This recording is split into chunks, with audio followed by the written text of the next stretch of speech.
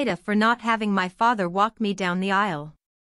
For context I am 26F and my father has never been in the picture he left the same day I was born leaving my mother to take care of me.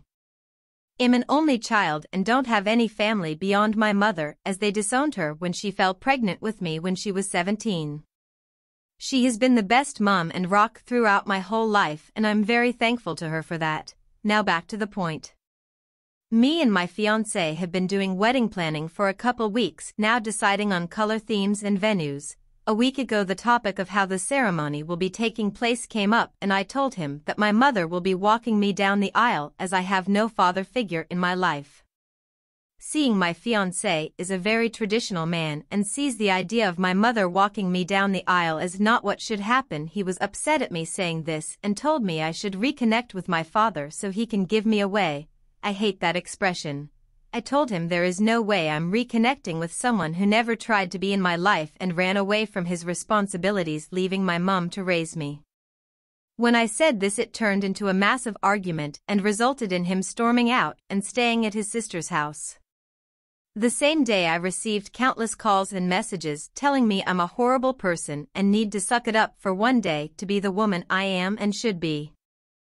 I haven't responded to any of these and I'm just taking some time to myself before I try talking to him. Yesterday I found out my fiancé reached out to my father and asked him to meet him in a few days. I am beyond pissed and rethinking this whole marriage thing.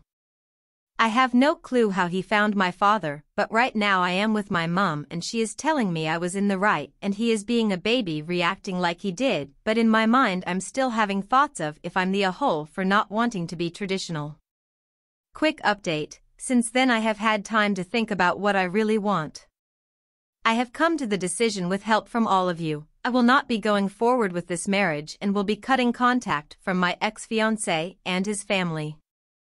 I have no clue what he will do when he meets up with my father, but I will be having no part of it.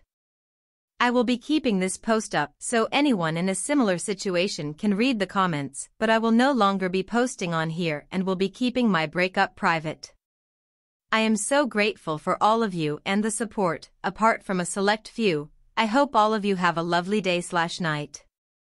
I will be getting lawyer just in case and will be taking precautions to keep safe.